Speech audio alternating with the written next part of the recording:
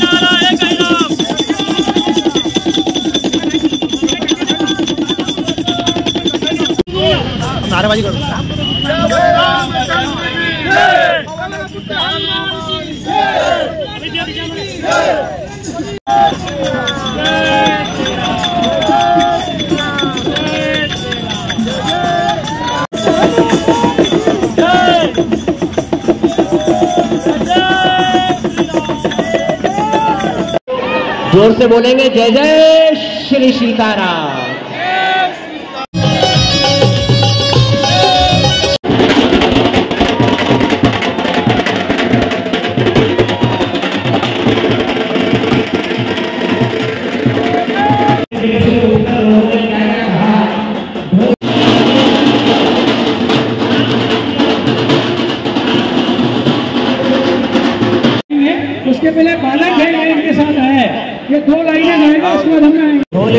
मध्य में शायद आप पंक्ति सुन नहीं पाएँगे तो आपको अनुभूति नहीं होगी।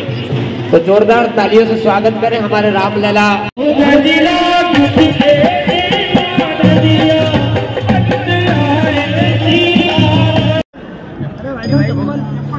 बताने का कष्ट करें। आज देवास में मुंबई से आई हुई पूरी संस्था का हृदय से स्वागत करती हूँ। बहुत बहुत वंदन करती हूँ, अभिनंदन करती हूँ पूरे देवास वासियों की तरफ़ से महाराष्ट्र वासियों का दिल खोल कर स्वागत है। और आपने जो एक माहौल बनाने का काम उनकी ऊर्जा से ही काम होते हैं। जब ये तय है तो हमने भी सोचा था कि महाकाल की तर्ज पर एक देवी लोक की स्थापना होगी देवास में, जहाँ दोनों माताओं के आस्था का केंद्र होगा। सभी जो दर्शनार्थी आते हैं, जो आस्था हृदय में रख के आते हैं, लाखों नवरात्रि के उपलक्ष्य में आते हैं, उन सभी को एक ऐसा देवी लोक हम देने की कोशिश करेंगे, जो आपकी आस्था को और बढ़ाएगा। केवल दोनों माताओं का नहीं, पूरी नौ माताओं का आशीर्वाद लेके, दर्शन लेके आप लोग यहाँ से जाएँगे।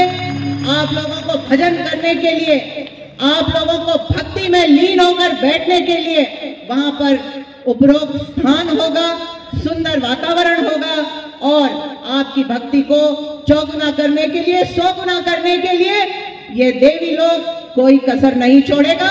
ये हमारे देवास लोग के सभी नागरिकों की तरफ़ से आप लोगों को आश्वस्त करती हूँ। चामुंडा बैठी है, माँ भवानी बैठी है। उसके देवी लोग बनने में कोई अड़चन नहीं आएगी। जो अड़चन डालेगा उसे माँ चामुंडा और माँ तुलजा भवानी संभालेगी। ये मेरा नहीं, ये माँ चामुंडा और माँ तुलजा भवानी का वादा है आप लोगों से। जो लोग साथ हैं, जो लोग साथ हैं, सभी दोनों माताओं का जयकारा लगाएँगे, दोनों हाथ जोड़ेंगे और दोनों माताओं से आग्रह करेंगे कि इस देवी लोक के बनाने में आपका योगदान शत प्रतिशत हो। माँ, ऐसी कामना करते हुए आज इस वातावरण में राम मंदिर के लिए जो हमारे सभी भक्तगण निकले हैं, उनके साथ ही उनसे प्रेरणा लेते हुए यहाँ पर मंच पर उपस्थित सभी लोगों की तरफ़ से मैं देवास वासियों को भी आश्वस्त करती हूँ, एक नहीं, दो नहीं, यहाँ से भी अनेक इस तरह की यात्राएँ अयोध्या के लिए जाएँगी और उनको भेजने में हम कोई कसर नहीं छोड़ेंगे। सभी को यहाँ आकर अपना योगदान देने के लिए और गुरुजी को इस बहुत ही सुंदर आयोजन के कहा जा रही है और अ, क्या उद्देश्य को निकल लेके यात्रा निकल रही है? जय श्री राम हमारी यात्रा मुंबई से आ रही है। राम सेना फाउंडेशन द्वारा आयोजित है। दस दिसंबर को अयोध्या से मुंबई से यह पद यात्रा निकली है। और 25 जनवरी की रात को हम लोग अयोध्या जी में प्रवेश कर जाएँगे। और 26 तारीख की 26 जनवरी को दर्शन लेंगे। और हमारा जो संकल्प है कार सेवकों के सम्मान में कार सेवकों को एक श्रद्धांजलि देने के लिए हम लोग राम भक्त पैदल जा रहे हैं उनको श्रद्धांजलि देने के लिए। अच्छा यात्रा में कितने लोग शामिल हैं? यात्रा में हम लोग तो मुंबई से जब निकले थे तो हम लोगों को खुद विदाई करने के लिए महाराष्ट्र के मुख्यमंत्री एक नाथ शिंदे आए थे। और पाँच हज़ार लोगों की जनसंख्या में हम लोग वहाँ से निकले थे। विदा होने के टाइम पे विदा होने के टाइम पे पाँच हज़ार लोग हम लोग निकले थे। और ये जो संकल्प आठ महीने पहले हमारे राष्ट्रीय अध्यक्ष मनोज यादव जी ने लिया था तो उसके बाद उन्होंने हम लोगों को बताया और हम लोगों ने धीरे धीरे धीरे धीरे कार्य करते गए और आज जनसंख्या हम लोगों के साथ में चल रहा है। ठीक है क्या नाम है आपका? अंकित मिश्रा। कहाँ से हैं आप? मुंबई साहब मीरा भाई मुंबई से आ रही है अयोध्या जा रही है मीरा भाईंदर से अयोध्या निकली हुई है। कितने लोग इस यात्रा में शामिल है? ये यात्रा में कम से कम अभी तो अस्सी जन है वहाँ तो मुंबई से निकले थे तो करीब पाँच हज़ार थे इसमें धीरे धीरे आप कम होते गए फिर आगे हमारे और बढ़े जाएँगे। अच्छा यात्रा कितने दिनों से चालू है ये? दस दिसंबर से चालू है यात्रा। अच्छा आपका रात्रि में क्या विश्राम रहता है? क्या कैसे कहाँ रुकते हैं क्या करते हैं? हम लोग पहले एक महीना पहले जाके हमारे अध्यक्ष साहब जाके पूरा जहाँ जहाँ मतलब ठिकान रहने का हम लोग का रोज का चालीस किलोमीटर चलने का वहाँ व्यवस्था पूरा करके आए थे। फिर हम लोग का रोज का चलने का फिर वहाँ पे व्यवस्था रहता है। क्या यात्रा अयोध्या जाएगी अभी? अयोध्या जाएगी। ठीक है। अभी कितने लोग हैं? अभी हम लोग अस्सी जन है। क्या नाम है आपका? मेरा नाम आनंद यादव है। आप यात्रा के सदस्य हैं? हाँ यात्रा का सदस्य है। राम भक्तों का भी स्वागत हुआ और एक शाम राम के नाम आपके मुख से जो है, हज़ारों की संख्या में लोग भी पहुँचे और उन्होंने लाभ भी लिया। क्या कहेंगे आप? जैसे कि अभी अमिताभ जी पूछ रहे थे अक्षत कलश जो आए, अक्षत का अर्थ यही है कि जब आपने देखा होगा कि हमारे हमारे पुरानी जो व्यवस्थाएँ थी, जब किसी को निमंत्रण देना होता, हम पीले चावल दिया करते थे। तो आज हमारे बड़े सौभाग्य की बात है कि राम के यहाँ से, स्वयं के यहाँ से हमारे यहाँ अक्षत आए हैं और हमारे देवासवासियों के जनवासियों का बड़ा ही कहीं पुण्य उदित हुआ है, जिसके माध्यम से आज रामलला ने स्वयं ने हमें अक्षत दे दिए तो हमें बढ़ चढ़ कर देवास से अयोध्या की तरफ़ जाना चाहिए। एक यात्रा हमारी भी खड़ी तब के साथ अप्रैल में जाएगी, रामनवमी को पहुँचेगी और देवास से ही हम पद यात्रा करते हुए तब करते हुए जाएँगे? जो यात्रा अनोखी रहेगी, जो आज तक शायद सुनने में या देखने में नहीं आई, ऐसा ही तब एक पुनः देवास से पहुँचेगा एक जत्था। और हम सबसे आग्रह करते हैं कि आप अप्रैल में इस यात्रा में साथ भी चल सकते हैं, पैदल यात्रा रहेगी, पर लेकिन मेरा तक होते हुए जाएगा। तो एक शाम राम के नाम का जो कार्यक्रम है ये विशेष ये था कि जो मुंबई से हमारे अयोध्या के लिए जो पदयात्री आए हैं पैंसठ से सत्तर लोग इनके स्वागत और विश्राम की व्यवस्था दिव्योग संस्थान परिवार के जो लोग हैं देवास के जो लोग हैं सभी ने मिलकर इसकी व्यवस्था करी है। तो मैंने अभी थोड़ी देर पहले कहा था यदि आप लोगों ने सुना हो तो ये सब राम है इनको आप जितनी सेवा दे सकते हैं दीजिएगा केवल फ़ोटो सेशन के लिए मत आइएगा मैं पुनः प्रार्थना कर रहा हूँ मैं वीडियो फ़ोटो से ज़्यादा इतना इसलिए नहीं रखता हूँ। आपसे प्रार्थना है कि इनकी चरण वंदना करके जाएँ आपके सौभाग्य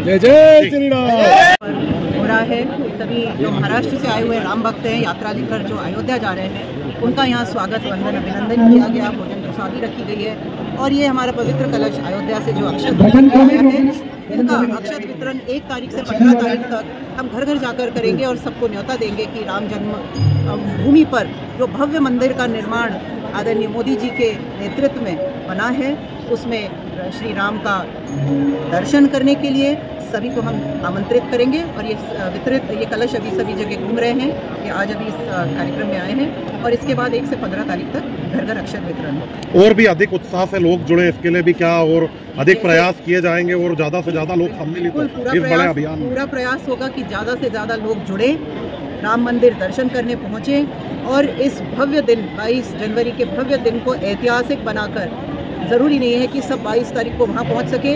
जहाँ जो है वो राम का स्मरण करके राम को का दर्शन करके राम के लिए कहीं ना कहीं भजन कीर्तन करके अनेक तरह तरीकों से अपने अपने क्षेत्र में आ, राम का पूजन अर्चन होगा।